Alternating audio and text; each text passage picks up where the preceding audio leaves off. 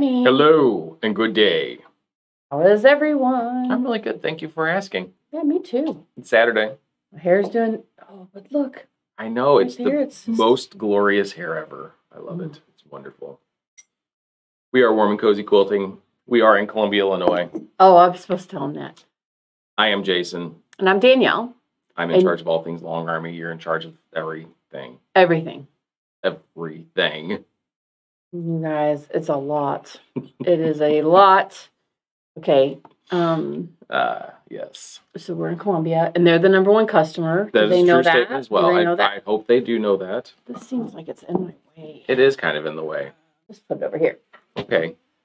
I'm on coffee. I'm on coffee mode right now. Anyway. Yes, you are. It's okay. Oh, good Lord. All right. Wonderful day in the So- neighborhood. Yeah. Beautiful day for a neighbor. Hope you're all having a wonderful Saturday. Hope the New Year's treating you well. For sure. Um, we're back to doing this here gig. Mhm. Uh, we are on Facebook and we're also streaming live on the YouTube. So That's right. Remember if you're to on share, YouTube. Yeah. hit that subscribe button, Right.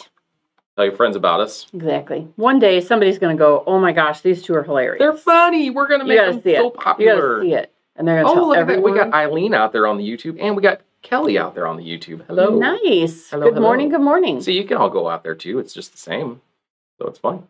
Yeah. Um. So Deborah did say that my hair looks sharp, and so, or maybe, maybe. She, oh, Jason. I'm talking to you. But it is. It is. Um. there was frost on the everything this morning. Frost equals I have to blow dry my hair, and then it looks good. And then I think, why the heck don't I do this more often? Anyway, I don't know. it's hair dry. It's hair dryer season. It is. Who knew? No, I didn't. Um, I don't dry my hair. My hair dryer has paint on it because our children Yeah. have used Right. it when doing arts and crafts. I'm not saying that they learned that from Like, somewhere, but they learned some somewhere. at some point maybe I should get a new hair dryer. Maybe. I mean, eh, it works. It works, and I don't use it that much. Although if I had like this awesome one, what would be awesome? It still just has to dry your hair. You know what would make it awesome? If it did la- your dinner for you exactly. or did laundry. Right. Does it do any of that? No. Then it ain't worth getting. Right. You just keep what you got. Exactly. okay, so Deborah said it's snowing, and Johnson said East Tennessee. Yeah. Well, that's mountainy land anyway, isn't it? Like, I don't know. I'm assuming it is. It sounds like it is. but it's south. Like so, What's south? It's east. It's southish. Bows in a circle or something. I don't know. I'm not a geologist. Oh, this is. This what are you doing? It'll flash at me. My phone will flash at me. I don't want Sweet it over goodness. here. Golly gracious. Okay, so then, um, hi Kathy and Carol, Hello. and good morning family from Diane, Mhm. and hello to Dolores. Hello. It is a good sewing day for sure. It feels like this whole week. Thursday was rain, gloom, doom. Right, all the things. Dumb. It's better to sit inside and sew some things together. Friday was of year. better. Friday was better. Saturday's okay, but you know, it's rain. cold. Um, Victoria, um, our 16 year old, is a speech kid. Yes.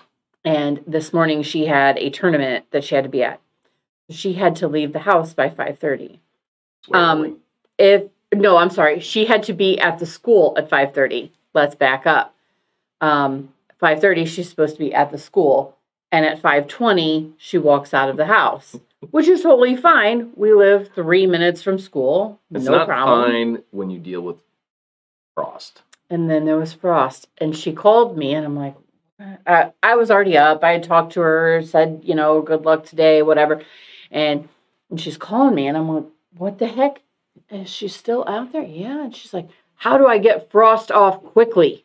And I'm like, you need time and heat. You got a scraper out there? Yeah, I tried, but that just made it worse. I'm like, "I- I'll just, I'm coming out. I don't need you to come out. I, it's okay. And I'm, like, I'm coming out. So I went out and helped her. We got it. And she goes, it. I'm supposed to pick up Hannah. I'm like, you're picking somebody up and you're not leaving until, okay, no.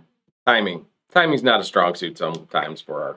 And then as she was, uh, she's closing the door, she's leaving, I said, January, February, you have to leave 10 minutes earlier because you Okay. have to clean the car off. Do better. Anyway, Do Yeah. better. anyway, so good luck to her today. Yeah, yeah. Um, if she's watching us, I'm, I'm telling your business. that. Well, she might be. That's She's possible. hanging out in the anyway. Um, okay, yeah, people are saying you look great with your hairdo. And we have okay. Hello, Linda. What's that? Oh, from NW? I don't know what NW is. What's NW, Linda? You gotta let me know. I, I went through all the states in my brain. Really? Because I What's what the heck? That is so North I feel- Wales? I feel really bad that I don't know. NW. Okay. Good morning. And uh yeah, Diane likes your haircut Oh, too. thank you. Thank you so much, guys. Thank you. Morning, Mary. Hello. And hello to Karen. Good morning, Rochelle. Good to see you. Saw her yesterday. Good to see her again, though. Um, good morning, Joanne. And cold day staying in so. Good morning for from Julie, Jason, and uh, to us. And Sadie behind. J, uh, Sadie is not here today. She got the day off. But I'm sure she's watching. She could she be could still be known that she was said hello to. Yes, Hello, Sadie. absolutely. Um, and uh, good morning to. Oh gosh, people are jumping on. I know, I love it. Pushes it down. Anyway, good morning, Wendy and uh, Debbie. Another Debbie. We there's multiple. I'm sorry. It's okay. Morning, It's all right. Heather. I get it. Hello, April. Twenty degrees in Northwest Ohio, but the sun is shining. Yeah, so that's better than you know Thursday when it was raining. Yeah, Kathy, teenagers. Yeah, for sure. Um, good morning, Linda and Diane. Hello, Vicky. She's on YouTube and having coffee and breakfast. It's Nice. a beautiful day. Way to do it. Nancy from Tennessee, granddaughter is in Johnson City. So hey, In college. Nice. yeah, nice. We got people who you know can relate to each other. They get it. Mm-hmm. Where yeah, exactly. That's what we're all about here, right? Right. Building Absolutely. communities, hanging out. It is so much fun. I do enjoy it. All right. So that was fun saying hi to guys. Um, again, if you're jumping on, feel free to say hi. We may say hi back. I don't know. We got things to get through, tough stuff to talk about. Lots to talk about today. So we're continuing the Quilting 101 series of conversations. Basically, you're getting started. What do you do? What's the next step? Today we're talking about fabric preparation. right. You We're not- bought that fabric. What do you do? We talked about the quilt police last week. Oh, right. we learned about Shauna Decky. Right. Mm-hmm. And her whole Made up life. Um, yeah, but you know, locking people up and Locking stuff like that. people up. Best story ever. I do I was that. so okay. So, um, we we had I had to watch after, uh, since I wasn't on last week, and I'm watching that, and I'm going, you totally had Sadie the oh, whole Oh, the whole time. The whole time. Sold it. You had her the whole time, and then mm-hmm. he finally was like, "Oh, it's all made up," and she's like, "What?" I know. I know. And anyway, so and we have Cheryl and Cheryl back to back Cheryls. Good morning. And it's not just a good It's a morning. good It's good morning, Cheryl. Morning. Thank you, Gene. Appreciate yeah, that. and then good morning to the other Cheryl. Hello, Cheryl. Uh, and do you like that? Isn't that the best thing ever? Uh, we got a sample in the mail, and I'm like, "What are you gonna do with that?" And she says, "Oh," I said, "I'm gonna make that." It came, so, So we I got did. this sample of threads, like from a company that wants us to try out their threads. Oh, is that what it like, was okay. from? I didn't. But then there was some fabric and stuff thrown in there, like, hey, make this little. So he pieced it, and Mm-hmm. you know, the, the, he birthed it. I birthed it. You weirdly. did. You didn't even know, but you did. It was painful. Anyway, it wasn't that painful, but it was fun. uh, no, Cheryl, no, there's no judgment here. no. Maybe a little bit of mockery. Maybe, maybe a bit. I kid, obviously. Okay, I Um, didn't think about this. what's I'm going to have to look at uh, when these classes are. And stuff like that. Oh, my good lord. okay. Well, that was. I got it figured out. Judge, No, no. you got it figured Yep. out. Good, I'm so, somebody got to have this figured out. Yep. All right, so we got some things to talk about before we get into the should you wash, should you starch, should you iron conversation. These are all very important things that you. What do you do with that fabric? You bought it, and and you're gonna you're gonna make something. Right. What should you do to prep your fabric before you start? Right. So before we do that, though, a couple things to remember. First and foremost, local quilt shop day, Mm-hmm. coming. Yes. January 28th. That's Right. not next Saturday, it's the Saturday after, so the last Saturday of the month. Right. If you don't live local to us and you can't come in to see us, that's fine. But it's a great day to get out and visit your local quilt shop If you haven't been in there in a minute, go in and say hi to everybody. Right. Uh, we worry about you. I worry about you all the time, Right. all the time. I sleep. I sit up at night wondering. I hope they're okay. I'm not there to take care of them. I don't know what's going to happen. It's Barely he remembers things that I tell him that he's supposed to be worried about. Well, that's true too. Not the point. Point is, local quilt shop day is January 28th. Get out there, support your local quilt shop or shops. Maybe you can visit a couple in the Sure. same day. You know, Yeah. it doesn't have to be your favorite quilt shop. Just support the local quilt shop. So go out and visit them. I'm sure we'll do some fun. I'm sure we're going to have something in Mhm. shop that's going to be worth Yeah. the while of visiting us that day as Yeah. well. And Yeah, la- people that aren't last year we last year we gave away a fat quarter, which I and most people didn't even know we were doing that. right. But we had it was so busy. It was. It was good. Lots time. of people coming out to hang out with us. And we did have Pretty something awesome. for the local or the not local people. We did a thing for the Mhm. online, so we'll, we'll probably have something. So just stay tuned for that. It'll be wonderful. Um, the other thing we have going on, Dolores said, "I wish I had a friendly shop near me." I know. Why don't we have multiple locations yet? we are still a very tight, small staff. we like what we got going on here? We'll uh, so it's work hard on for us to be in two places. Yes, I know. I talked about that the other day. If we could just get Who that has going. this ability? Somebody has got to have this. Oh, and see, people are saying local is 70 miles away. Yeah. Good so see, golly. So Dolores, am I more than are we more than 70 miles for you? Maybe we could still I mean, it's a long drive. That's That's a right. long drive. Like I said, we'll do something for you people that are not local that you can't make it in. But Mhm. if you can make it in, that's always fun too. Yeah. Um, Also, we'll work on teleportation. right. Yeah, Jason's been working on that out in the garage for months. It hasn't really taken off yet, but Just hiding there. oh, That's all. Not because I have two teenage girls, but because it's safer. What can you do? I'm joking. Like I have Anyway. time to myself. Are you kidding me? all right. So that's happening the 28th. Also happening on the 28th is the last Saturday of the month. It is Mhm. International Mystery Quilt Day. Right. So you guys are working on your international mystery quilts. I see you posting them out there on the Quilters Collective. Mhm. Awesome. But I'm still hoping you're planning on coming in on the 28th at 9:30 to show off and do the show and tell of your finished quilts because honestly, they always look better in person. Not because your Right. photography skills aren't the best, but because the camera never does it justice. Right. So, this is January mystery quilt. I did we will one. let you in at 9.15. We will let you in the door at 9:15. We'll we go will live. lock the door. We will lock the door at 9:22. I don't know we'll- at some point, I don't but know. we go live for everybody else that can't make it in at 9:30. Right. You do not have to get on camera. We will have a designated human being that will That will hold, your quilt up Mhm. so everybody can see it. yes. It will not be on camera. I don't want to put anybody on camera. Just your quilt. Right. So that way you can come on in, hang out, see people. And Get people back to can ooh and ah at your quilt. And Oh, it's so much fun. Yeah. That'll be a good Also, like, yeah, it just makes it, it just is so much fun. Also, if you have your January quilt top done, it doesn't have to be quilted. It just has to be pieced. Hmm. Borders are optional on this one, so if you have borders, great. If you don't, that's fine. You will leave that Saturday with your February pattern for free if you have January done. So Pam's watching us in Chile, Alabama. Okay. Everybody's cold right now. hmm And uh, she can only watch a few minutes. She's got a granddaughter there. Fun. That's got to be a lot of fun. That'll be a good time. And yeah, so um, anyway, good to see you on. Absolutely. Um, also, be aware that we do have the 100 Modern Block event or so along going on. Um, Mhm. If you haven't been to your first class yet, you got this Tuesday and this Friday um, coming up. Mhm. Those are also going to be Zoom classed. So Right. if you're not local and you want to participate in that, we could probably squeeze you into a Zoom, but the in-person ones are pretty much full at this point. Correct. So Yeah, 9 a.m. is the start time for those classes. If you need que- if you have, if you need questions, if you need questions, If you need questions, I have so Jason many. has so many questions. So many No, anyway, questions. if you have any questions, just reach out to us. How does the speed of Um, light work? anyway, Anyway. then we then then we'll get you. All let us know. Uh, Solaire. Oh, I think I have an image for Solaire.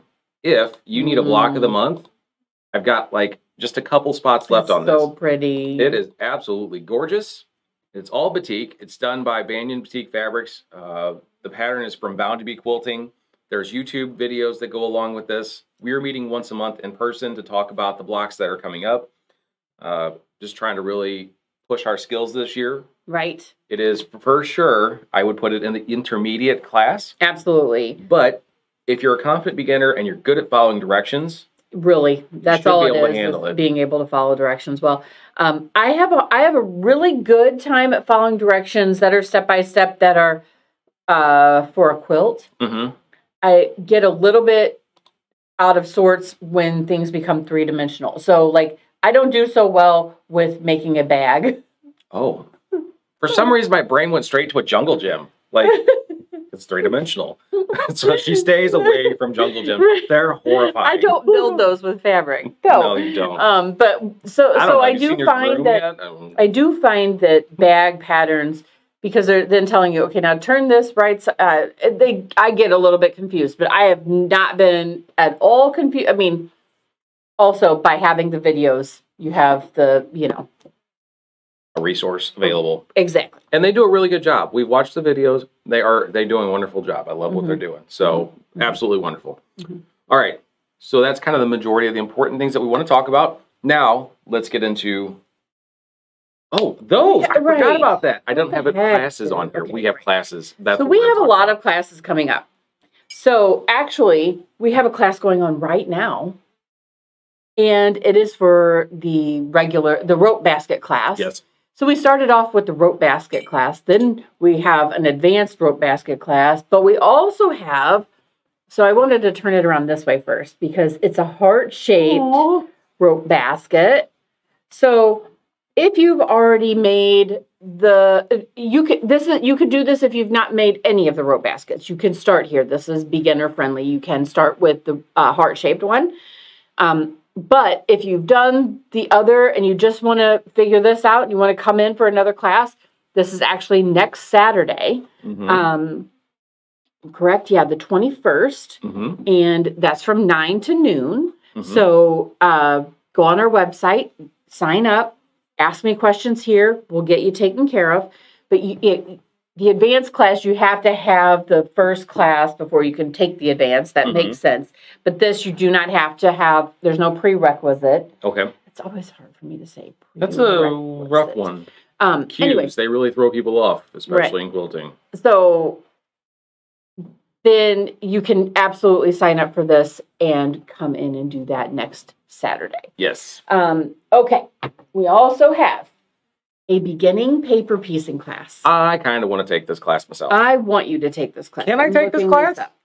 Beginning paper piecing. Who wants to come take a class So- with me? That would be really cool. Jason, I mean, I have a hard time with paper piecing because I turn things around. Yeah. funny, But you, the precision that you get with paper piecing, I feel like you're going to go, how do we paper piece everything? I'm gonna paper piece all the things. So, Man, you're gonna imagine. Can you imagine Christmas gifts? Oh, they're gonna be awesome. Super So- precisely folded. paper piecing. I don't Mhm. know what day of the week this is. Is the that problem the that. I'm having? Yeah. Um, So so this is 2nd. February second. That is a Thursday. it is a Thursday, and Mhm. it's from one to four. Oh, I could do that. You could do that. So uh, Unless I have a class that day. anyway, I I'm do not not. gonna worry about your schedule right now. I'm talking to these people. Okay. So the class I believe is thirty five dollars, and then there is the kit to make the whole thing, which includes the backing and Mhm. all the fabric for the top. Um, is I believe nineteen dollars or something like that. Anyway, so We'll get there is that a kit that you have to purchase, but yeah, you don't even have to come in b- beforehand. A lot of times on classes, you have to come pick out your fabric Mhm. beforehand, and then that means two trips here. This class, you do not because you're buying this kit. Everybody's going to make the same one. If you tell me you hate blue, too bad. You're making it with blue. So donate, donate this one. Get, make You're yourself a new taking one. a, paper piecing class to start off with because you Mhm. want to learn how to paper piece. Right. Once you realize I love doing this, then you're going to go and do it again and again and again. Exactly. And it's you can make more of these, and it'll be a great gift to have. I just think it's so cute. And it is a very uh, simple project, but you're going to learn the technique and you're going to have a project that's finished. Yeah, Make for sense? sure. Okay. Um, the last one I wanted to talk about is Introduction to Quilt Piecing. Here it is. So this is a three session class. Mhm. Um, there's one class that's like all day. Okay. Uh, February 18th. It is a nine to four. That way we could really get a lot of information in that. Then the next two classes are just three hour shifts, three hour days. Um, and they're Saturdays. So if you're new to this and you're like, quilt shops, they always have classes during the week, during the day. That is true. We have a lot of people who sign up for those classes that are during the we have a larger demographic that are retired and don't Sure. have to work on a regular Exactly. schedule. But so- usually, my new people who really want to get into this and want to learn more still work. yes, And that's totally fine. So I'm I trying to, work. I always try to make, figure out the ways to make it so that everyone can join in. I wish Mhm. I could do more Zoom things. I can't at this point. Um, hoping that with 100 Block, that will really help me kind of see what else I can do Right. for, for Zoom. But anyway, so, um, introduction to quilt piecing. So you're going to make a top. Mm -hmm. Okay. And you're going to make a nine patch Mhm. and a pinwheel. So you're going to learn how to make two different blocks. You're going to learn how to set them together. You're going to learn how to put a border on. First of all, that sounds like, oh, that's not that much. There's the prepping the fabric, there's the cutting the fabric. You're going to get really good. Like, so a lot of times people think, oh my gosh, I can't take that class because I've never even used a rotary cutter. And I think this for. this class is the way to go. I've had people that have taken this class um, that uh, previously that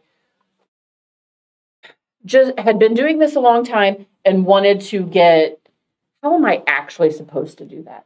Mhm. Like, how am I supposed to use the ruler? How am I like? What are the because I've been I taught myself and um, I want to do the right things. Right, and we don't always trust our skill set. And you may watch Sure. a video and you may be like, mm, "I think I did it right, but I'm not sure." So it's nice to get in person Yeah, so you're gonna make a, you're gonna make find a that's top. right. Mhm. Yeah, you're going to make a cool top uh, by the end of the class. And then we have some other classes that kind of um, teach you how to do machine quilting, how to do that with your walking foot. So you're just doing straight lines. So, uh, how to do binding. So, all of the ways to finish it. But a lot of people are like, I really want to get this part nailed down, the piecing the top. So, we have a class for you. Perfect. All right, Okay. There's lots of open sews. Check out our website, blah, blah, blah. all the things. Okay, so we have a lot of information to cover. So we're gonna go and we're gonna go real fast. With that said, caveat as always. What we are saying is not the end all be all of the conversation. You may have a varying opinion, and that is okay. What you do works for you. How we handle it works for us. We're going to kind of look at it from either side. Do what works best for you. There Mhm. is no right or wrong in quilting. Again, Shauna Decky was made up. There are Mhm. no quilt police. Never Nobody's have coming- been. Never Nobody's will coming be. to lock you up. Um, however, if somebody comes knocking on your door saying that your seams are wrong, call the real cops because that's getting real weird. Yeah. that's getting real weird. Uh, anyway, so when it comes to fabric prep, you've got a couple things that we need to really consider: washing and wa- pre-washing your fabric, starching Right. your fabric, Right. and then pressing, ironing your fabric. Right. Okay. Some of these things are, I would say, optional. All Yes. of them can be optional Sure. if you so desire. You could take it right off the bolt and start cutting it. Right.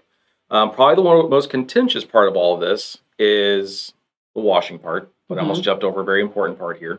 Um, something that's a really good key to this whole process is checking color fastness of your fabric Right. before you do any of it. Because if you've got fabric from a friend who says, Mm-hmm. Hey, I've got this fabric, I know you quilt, here you go. You don't know where that came from. Right. You and it tends to be that you get stuff that's old.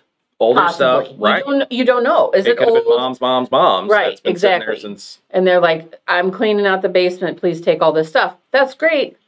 Has it been washed before? So now I'm putting other fabrics with it Mhm. and I pre-wash or I don't or Mhm. whatever. I don't know the, you know, what has been done with this fabric. And um the fabric now is a lot better in regards to Color uh, fastness, color yeah. fastness and things like that. Mhm. So, you, so you know, if if it is a new from quilt shop, you know, quilt shop quality cotton, you're probably not going to struggle with any of those. But you don't know on those things that are given. Right, you never really know. I mean, again, we use high quality stuff here. That's all we sell.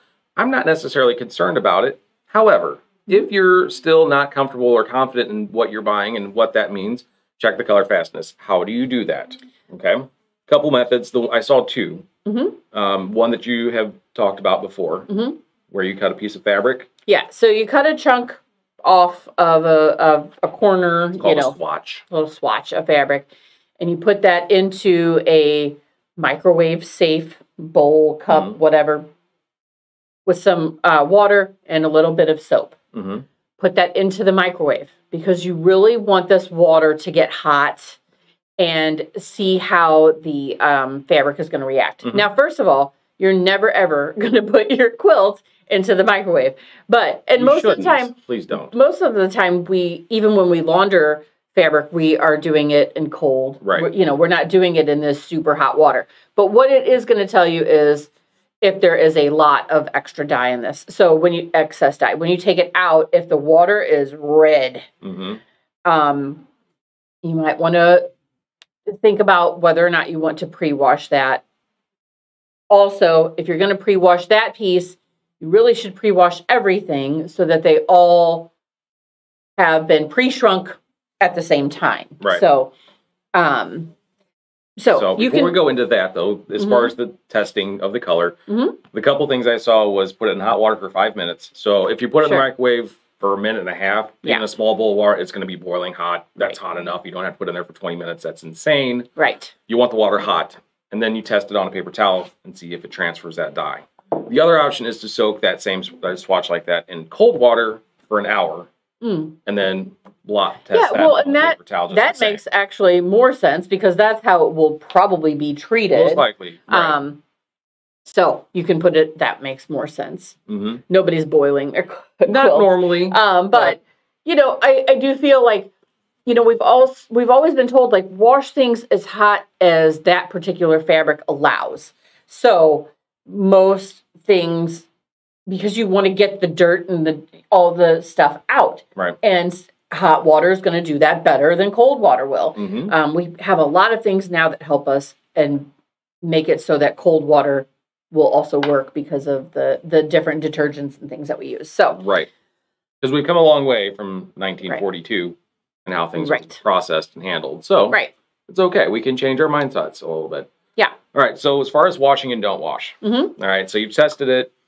You, it's color safe. It's not bleeding. Cool. Or oh, it's bleeding. So now I need to wash it. right, Either way, doesn't matter. People pre-wash for a couple different reasons.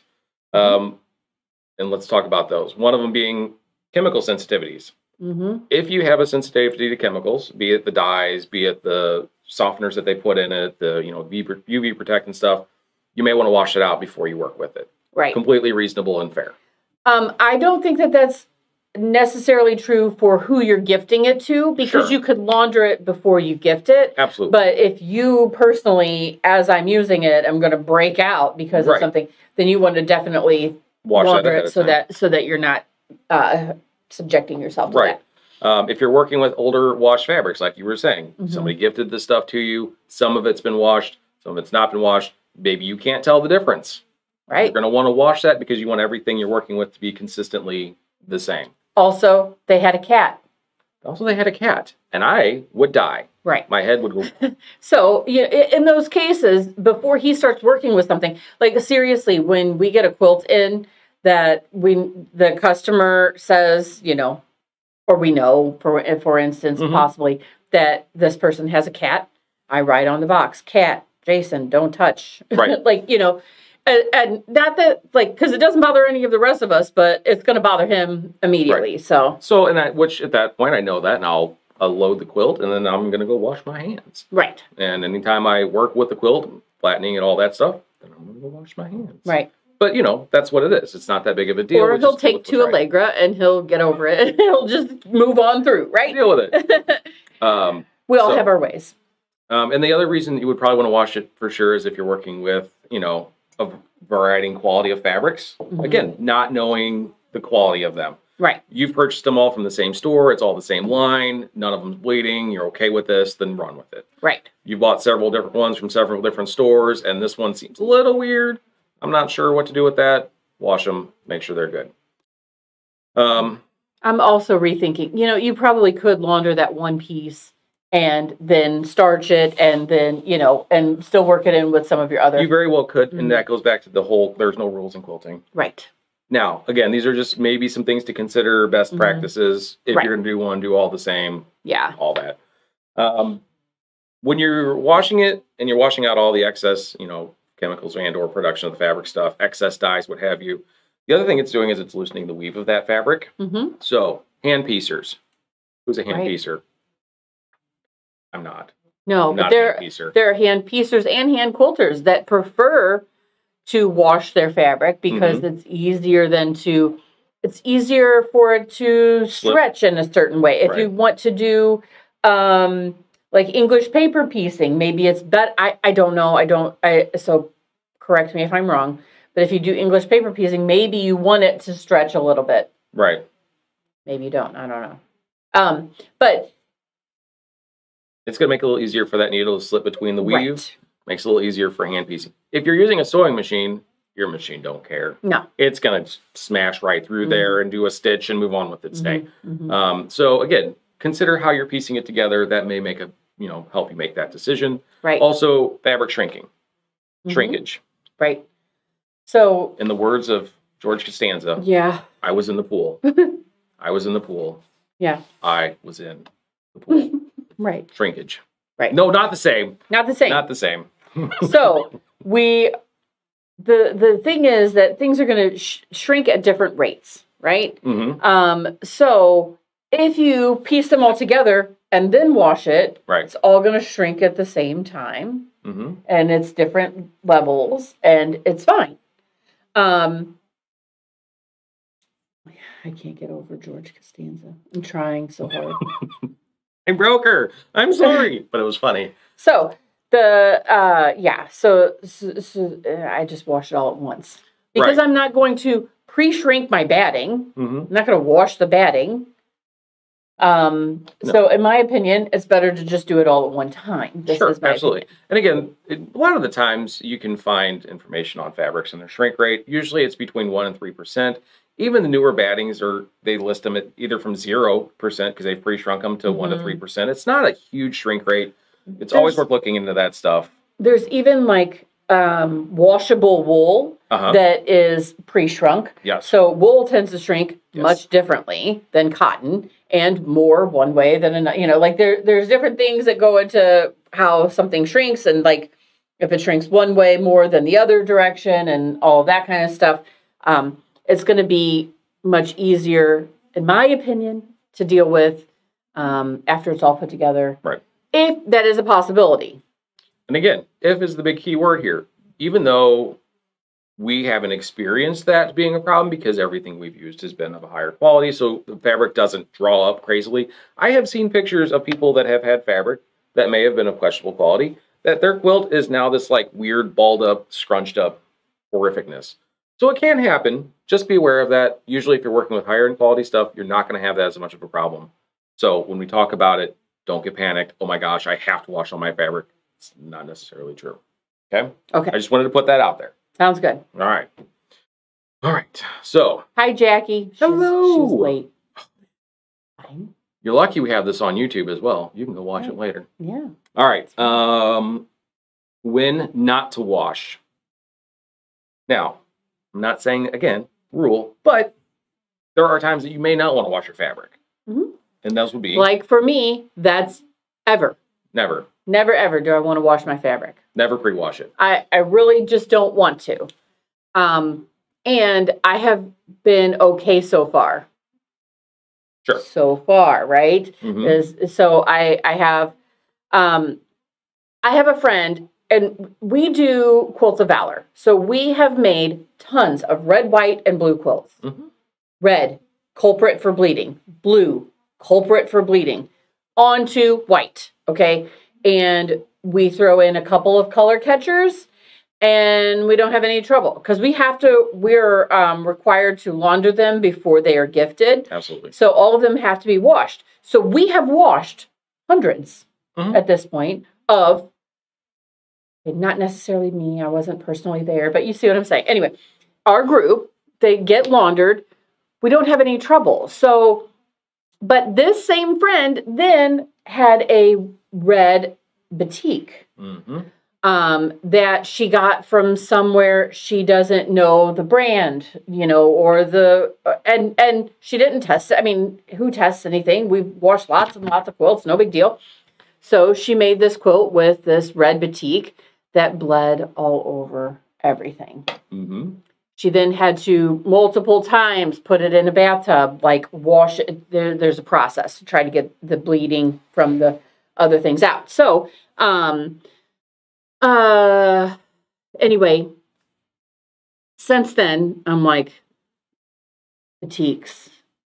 Batiks are a reason to possibly wash. Right. Okay.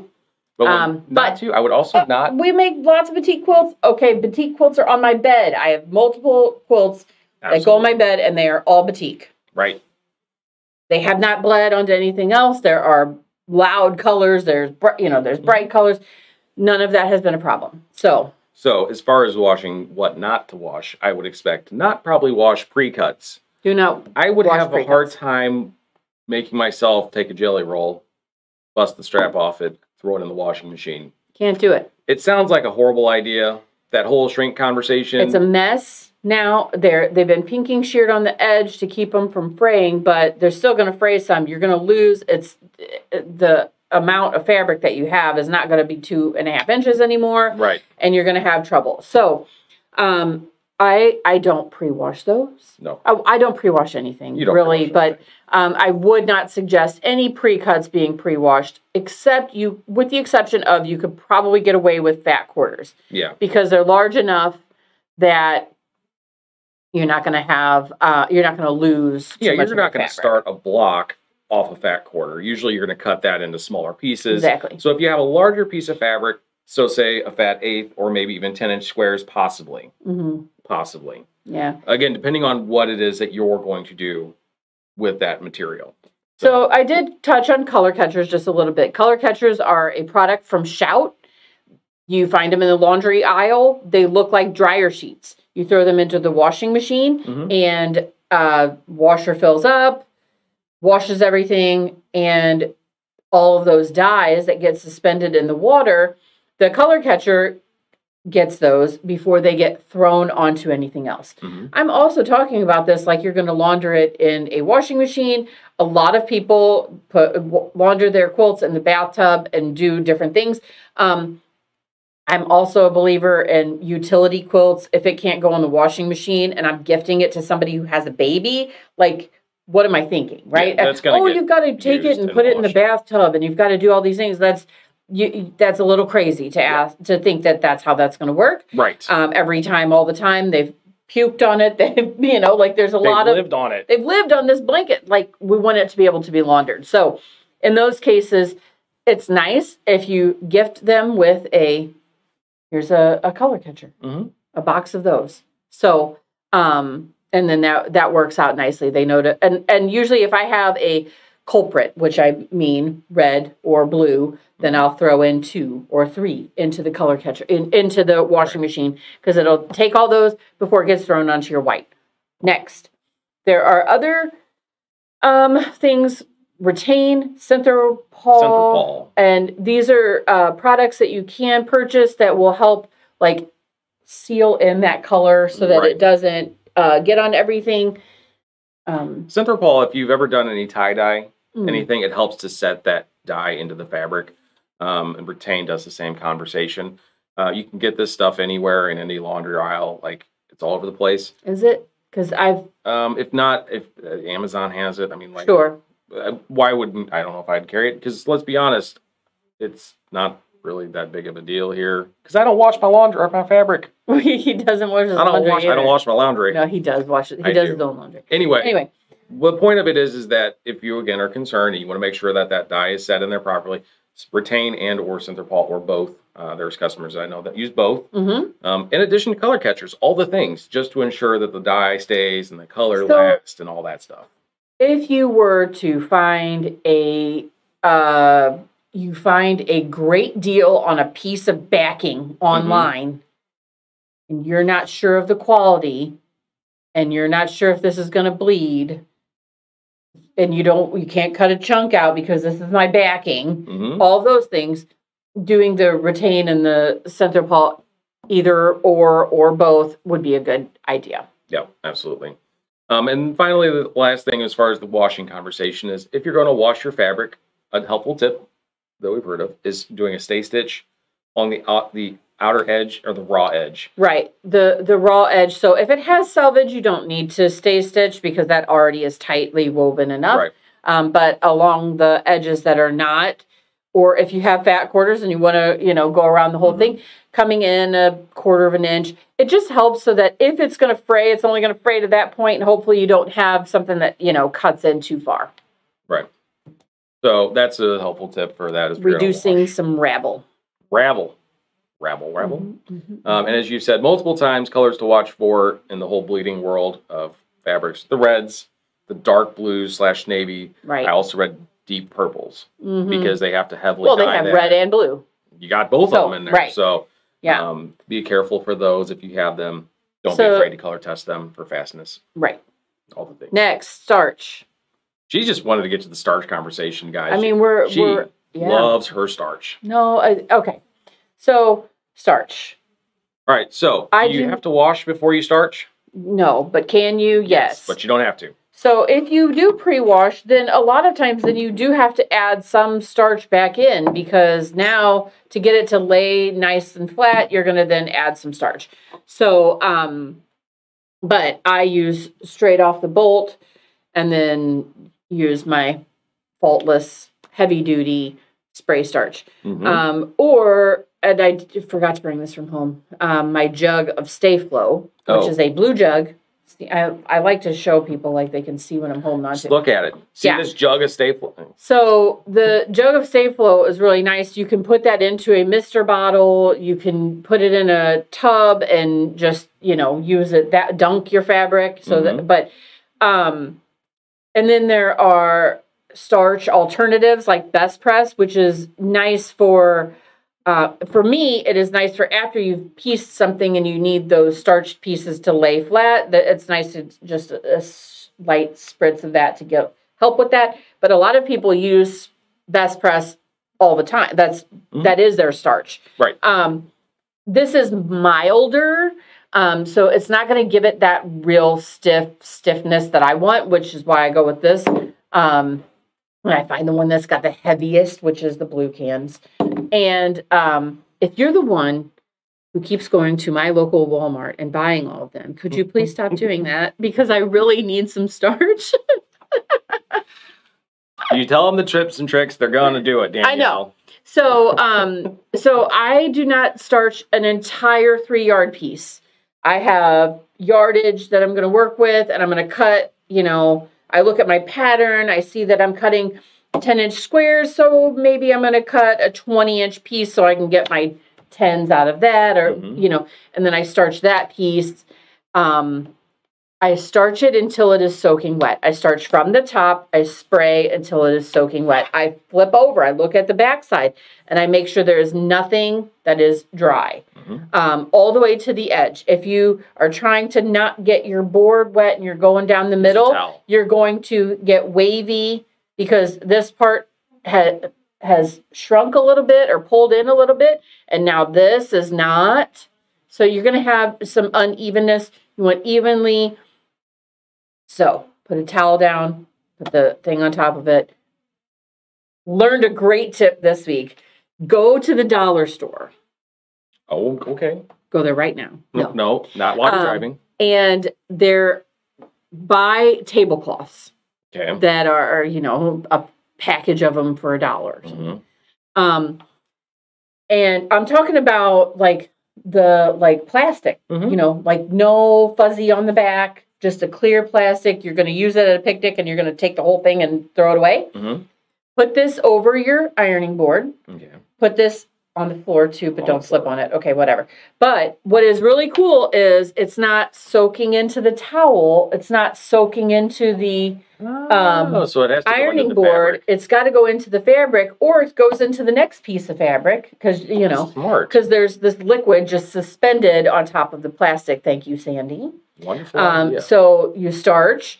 Um, I also found that if you then lay the next piece on top and keep starching, that bottom one, I mean, you're not hurting anything by doing that. And then you can take three or four pieces and go hang them. And that way you're kind of saving some time too.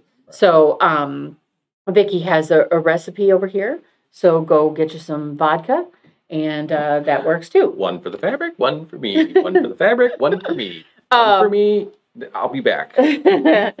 so I starch everything from the top. I make sure that it is it is wet all the way through, and then I hang it. So then after I've gotten several pieces done, then I start from the beginning and I press from the back side. So people say number one, they, they say to me, um, but then all that stuff gets on your iron and that's gross and junk, uh, you, you mess up your iron. I have iron, iron. I really don't care. I have iron cleaner for a reason. That's why it's there. I, I just clean the iron if it gets on there and gets gross, right? Then the uh, also if it's gonna make some if it's gonna make some flakes or Mhm. anything like that, um, it's on the back side of the fabric. So again, I don't care if it makes a mess on the fabric um, because it's on the back side. Yep. So when Right, people so- say you really spend a lot of time prepping your fabric. I mean, it's like going to be days before I actually get to sew anything. And I'm like, yeah, I know. That's okay. I mean, that's But part I of the don't- process. I do not spend time matching socks because that's ridiculous. too much effort. So, uh, so I take that time that I would spend on, you know, actually putting the laundry away. We don't need to do that. the, the no matching socks. I do. I don't care. I will wear two different socks. I don't. It does not matter to me. Um, and uh, but I'm using that time to starch my fabrics. So, a couple important things to remember when you starch. The point of the starch is to add enough so that it, when it dries, it makes your fabric like a piece of paper, Right. like a hard piece of paper, like almost uh, craft paper. When you do that, it allows for better accuracy because Mhm. things aren't going to give as much and shift on the bias and things like that. It's going to stay fairly straight. I mean, your fabric has give to it. You when know? you wash it, it's going uh, to give it's gonna back. a- be it's going to be pretty again. so. Um, the other thing to remember is that when it comes to much like washing, like you wouldn't want to wash a pack of pre-cuts. mhm. Starching is going to do the same thing. If Right. you get moisture on the fabric, the fabric is going to just draw up. That's what happens. So shift a little. Things are going to be Right. a little bit different. if you're going to starch, starch the larger bulk of your fabric first. So I need to cut some 18 inch strip off of this. I'm going to work with that and get all my pieces. Starch that before you Mm-hmm. subcut it down to the smaller pieces. right. Work in bulk. You do not make a block and then go, man. I, before I put this into the with to the quilt, now I'm going to starch it. No, hmm because what ha- will happen is now it's going to start to shrink and things are not going to be the right size. Right. Shower curtain, dollar twenty five from the dollar store, protecting your floor. That's a good idea, Eileen. And um, Ruth says this is what she does. Cool. So, um, uh, what was I saying? Oh, I don't know. So, I still will starch pre-cut uh, or fat quarters. I Mm-hmm. will starch fat quarters all day. Um, I actually am now working on a quilt just this week that I needed 10 inch squares. Um, or I have 10 inch squares. I'm sorry, I'm kind of all over. So I have 10 inch squares, and my pattern says start with a nine and a half inch block. And I go, oh, cool. So because I am going to cut this down to nine or nine and a half, whatever it says, um, I can starch that 10 inch block. Right. Know what your If- project's going to look like first. Right. First of all, I find that there are a lot of patterns that you need 10 inch squares, but all the pre cut 10 inch squares are pinking sheared or something, and you don't actually have a full 10 inches. So I wish that pattern writers, and they are starting to come around to figuring this out to going, okay, let's start with a nine inch block, or let's start, but you know, they're trying to get you every bit of that fabric. Um, it's just that I, I, I'm very much a perfectionist and accuracy is like so important to me that when that block doesn't measure 10 inches, I want to call the company Right. because I'm mad. Right. well, aside from that nonsense, we don't Yeah. want to yell at nobody. Okay, That's how it works out. There are some big concerns that people have had for using starch, and I want to talk about that real quick. Um, the biggest concern people have is uh, bugs being attracted to starched fabric. Um, the main culprit that people point at is silverfish. If you have silverfish, silverfish, that was weird, known to be in your home, silverfish love starchy things. So, yes, they will be attracted to starch, but they're also attracted to starch found in paper, i.e., books, i.e., photographs, i.e., wallpaper, Mhm. food that you spilled on your clothes, so dirty laundry, all these things. So, I wouldn't go home and starch everything and leave it out in the open air for years because, yeah, you're you're inviting hazard at that point. Um, so starch what you need for the project you're currently on. If you have to put that project on hold, airtight bins are a wonderful option to store the fabric in, so that way things can't get to it and destroy the fabric. Right. So So um, I want to uh, say a couple things. So Jackie said she loves GE Designs. So mhm, the one that I'm working on right now is June. That's the name of it. You know, uh, GE. She oh the they tend to name everything like by someone's name. Right. Like there's Hope. she's very much you know. female names for, Anyway, for Um, but this one is the first one that I really love because you are cutting it down. The second thing, because I do love GE design patterns, um, I will go and buy a third of a yard Mhm. of a whole bunch of different fabrics rather than buying a pre-cut 10 inch squares that aren't really 10. Mhm, So my third of a yard uh, is 12. I can get four uh, block, four 10 inch squares out of that one cut mhm. and they are full 10 inches. So, and I get to use my GE patterns, so the stripology patterns. And hi to Jason. And um, Joanne says this is a lot of extra work, and using best press works for her. And that is what I wanted to get to this whole time. Thank you, Joanne. Is do what works for you. I am a perfectionist, and I want things to be so precise. I, I don't want anyone to be like me. I want you to be okay with the fact that I lost a point here or this is a little bit crooked and and be okay with it because these are handmade items and they're beautiful just the way they are. You do not have to go to such extremes. Um, but because I'm a perfectionist and I am continuing to grow my skills, Mhm. I'm not where I want to be yet. Um, I have to take every measure that I can to make it so that I um, do this really well. So um, I did have someone the other day because we are making six inch blocks and the and the hundred block that I'm doing ask if I was going to glue my my pieces together because there are things out there for precision piecing and you can use this product and you glue the pieces together and press them before you stitch. Hmm. And I'm going, oh my gosh, here's three more steps. And I went, you know, I'm not doing, I'm not doing two inch finished squares that have, No, that's a whole nother level of you know, not for me, but um, you know, like Jason, you know, I'm not doing very tiny pieces that have lots of pieces in them, and I need them to be perfect, you- all that. So I'm not going to glue. I'm just going to go with it. yeah. Uh, yeah, a perfectionist who doesn't match her socks. Yes, absolutely, because I really that is not something I care about. that's funny. That- Oh, that's uh, thanks, Rita, for pointing that out. That is so smart. Deborah, do you need to cover the ironing board and the floor? I mean, it's still a starch type substitute. It could leave a residue. Yeah, if concerned with that, it Mhm. wouldn't hurt. Um, Yeah, it's more just that over time you're gonna go, man. Now I've got to wash this thing because you'll just happening. you'll you'll find that it's getting a little stiff or whatever. Um, I don't think it's that necessary, but I- I don't cover it when I'm just pressing things and I use you know like best press or something. At that point, I don't cover it. Um, I don't. I don't cover my wool mat. I know I should. Your wool mat was really great when you're working on things because you're getting heat when you're from- ironing. when you're pressing. So we're, nobody's ironing here. We're Right, pressing. So because you're getting the heat from the bottom and the top at the same time, and you get that block really nice and flat pretty quickly. Um, but if you are starching on top of that, some those wool mats, you can't really clean them very well. So uh, I've seen lots of people who will put it like put it in a pillowcase or put it, you know, some or a some semblance of pillowcase type that then at least that layer is you know can be thrown in the washing machine pretty easily Right. Hmm. Okay. So, last and not least, and within time frame, we have the conversation of ironing or pressing. Mhm.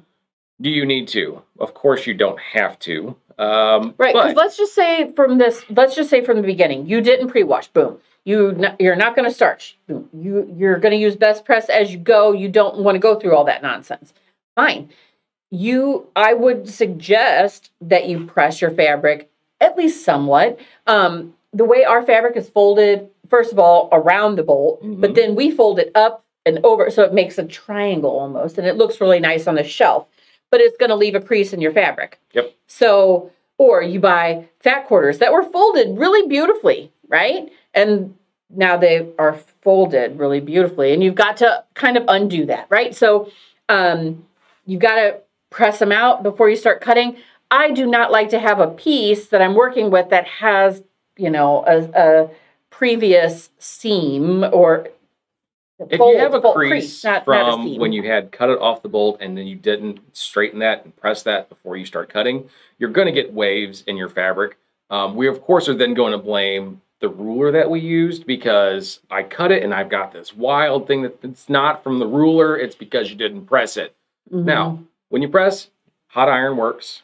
If you're working with bulk material, then steam, please, by all means, steam it. Spray Yeah, a little you bit of water or use the steam setting on your iron if you Mhm. got it. right, It's got to be a hot iron, and also the wool mat really helps for pressing out to get the creases Mhm. a little more flat so that we don't have to worry about that. Don't aggressively iron. Have you ever seen the, the, the videos, of the aggressive housekeeping things where the guy run around angry, oh yeah, yeah. doing things? Yeah. Um, this is what I, I see in my mind when I say aggressive ironing. Mhm. Don't want to iron the. You don't need to do that. It's a very gentle hold the iron, push it out, you know, kind of Mhm. crossed it. right. When we're one when we have blocks and we have seams, you really want to press. That's and sometimes people think, oh, they're from a different region than me. They say press, I say iron. No, these are two different things. Hmm. They both use that same thing, that same object, but one you are ironing, you are pushing the fabric, Right. and and you can do this with um, a sleeve, Mhm. you know, on your shirt. my shirt sleeve, yeah. that's not that you you want to press, you want to iron it, you want to get that nice and anyway. But you do not want to do this with a block that you have now made, and it, needs to finish at exactly six and a half inches, and I've got it, and it's perfect. And then you iron it, and you've stretched it because you're adding heat. If you're adding steam, you're adding a little bit of liquid. You add heat, liquid, and you push, and you're going to make that larger. And Right. it, and the thing is, you're not going to make it larger evenly. Okay, you're not. It's going to be bigger this way and not so much this way, and whatever. So, um, yeah, it, when you are working with blocks, you now want to press. Right. Pick it up, Put it put down. it down. Pick it up, put it down. Okay. You don't want to push. Right. You do not want to do any of that. You want to nicely do the thing. Again, and when it's hot and you're adding steam, you are giving it that pliability. Mhm. So also keep in mind that if it's still fairly warm from the iron, don't start pulling on it. You're Mhm. just going to stretch it and you're going to be mad. right. Not not worth the, the headache and the anger. Don't. Anger doesn't belong Jackie, in there. Jackie washes her, you know, ironing cover every Mhm. month. Good Hey, idea. That's wonderful. not a bad habit to be in. Yep. For Wha- sure. Whatever method works good for you is what I say go with. Yeah. Because remember, I am not whoever you said. Shauna Decky. Right. And if I you don't know who that cool is, you need to go back and watch last week's episode. Also, you yeah, you you are not the cool police, so don't tell me how to live my life. You don't know me. I say that to inanimate objects. So the Sta-Flo told me that I needed to mix it with water, and I was like, "You don't know me. You don't know me. I'm going to use what- it straight up." And then I put that into my Mister bottle, and I clogged the whole bottle. And I went, "Oh well, maybe they were a little bit right. Maybe I needed a little bit of water." Water. Anyway, Oops. I hope I made you chuckle. Live and learn. But. Yeah, Live and learn. this is my life. Anyway. All right. We do have a new product from now. This is also made from Faultless, Same but company. this is um Magic. Mhm. uh, premium quilting and crafting spray. So, fragrance and flake free. Get your wrinkles out, flattens your seams, reduces stretch. Um, Does it reduce stress? Because I might spray does- some on myself. if it reduces stretch, Be like a vacation. in my opinion, Oh. if it reduces stretch, it also reduces stress Huh. at the same TM. time. That's our saying. You can't have it. It is Magic. really hard to say anyway. Come so improves accuracy for cutting and sewing. Um, uh, I haven't used any yet. I'm I haven't excited, either, so I but have to give it a whirl. um, it is made for quilt shops to carry. So we've gotten this in, and it's, it's perfect for quilting, napkin folding, oh well, I've got some napkins and to fold. tablescaping, sewing and Um, needlepoint, uh, yeah. So anyway, we're there- gonna give this a shot. There was a question about starch I think we should address before we wrap it up for the day. Does Sta-Flo stain the fabric? Here we go. Any of these could potentially stain fabric, possibly depending on Sure. how it reacts with the fabric. So, Mhm. again, if you don't know the fabric, origin, quality, all that stuff, test it. Yeah. So, and also, I've had there's things like uh, I've had some customers who have some art gallery fabric Mm-hmm. that they starched and it's left this weird thing and and it was more than one person who had that. I have never had this problem. And you, you work And with I art galleries. Work so, with art gallery fabric, and then I'm like, am I soaking it like you know putting so much starch on it that it's evenly starched? Am I hanging it, and that's what worked better? Is like what part of it is the problem, if you will? Um, I think that's kind. You have to figure out what works for you. Sta-Flo does not. I have not had any trouble with it staining fabric, um, and I use it frequently. Mhm. Uh, Or you could make your own starch, get some vodka. you can't. You absolutely can't. That is not. That is not a One joke. for you. Um, it is starch. Uh, yeah, because you have to have vodka that is starch based, yes. um, potato based, Potato. potato vodka. There we go. hmm Um, and you probably don't want that's flavored, you know, in some way because it's going to Mm, make that's it gonna just be not right. weird. Don't do that. Um, but anyway, I don't know that it's any less expensive. You know, I mean, I don't know the price of vodka versus the price of faultless. So, and no, we don't carry this. This is, you know, um, I wish we did. Mostly, I just need it by the truckload to my house. Right, that's more the conversation. But we do have this in stock if you guys want to give that a shot. We've been, got some good reviews from several people on it. So, anyway. All right, I've got nothing else to add to that today. Okay. A lot of information. You have questions, send us a message. We'll talk to you about it. Um, if you're in the Mhm. shop, ask us. Come by and see me today. Buy a machine. I have long arms. So, so she said she has Grey Goose. Well, that were I. Oh, You have to look at if if Grey Goose is a potato vodka, it will work. And then you Google how to make. Somehow, Patty knows that vodka's six ninety nine. well, Patty. maybe she just went and bought Do you have some? Are you bringing some in? Anyway, some. all right. yeah, than vodka being six ninety nine versus this is like two bucks. But if you can't find this, you might have to buy the dang vodka. Mm, well, maybe. You know. we'll see how that works out. Uh, anyway, so Monday flash sale. Make sure you check that out on the website. Starts at 9 a.m. Runs all day. We'll put something Mhm, fantastic mhm, on sale. Wednesday live sale here again at 6:30. 6 30. I know. Until and day? Until time. on Six. Wednesday, we will be here for Fabric TV at six p.m. Six. That's Central Time. said. Anyway, Matt. Go sign up for a class. come take a class. It'll be fun. hang out with us. And And don't forget, mark your calendar. Two weeks from today, uh, January 28th, mhm. is local Quilt. support your local quilt shop day. and International Mystery Quilt Day. Make sure you're here for Oh, it yeah. in person. Be Because here with your You quilt. want to see the next month. and if you, don't really have do. a quilt, you don't have a quilt. It doesn't matter. Come anyway. Come anyway. Yeah. Why not? Doesn't we have matter. space for it. Come, Come, see it. out. It's going to be a lot of fun. All right, ready? All right. Get out here. Okay. Right. Bye. Bye.